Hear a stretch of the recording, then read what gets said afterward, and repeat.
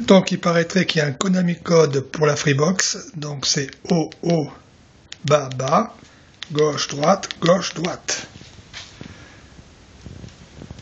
Oh, comme c'est étrange. Sympa le Konami code.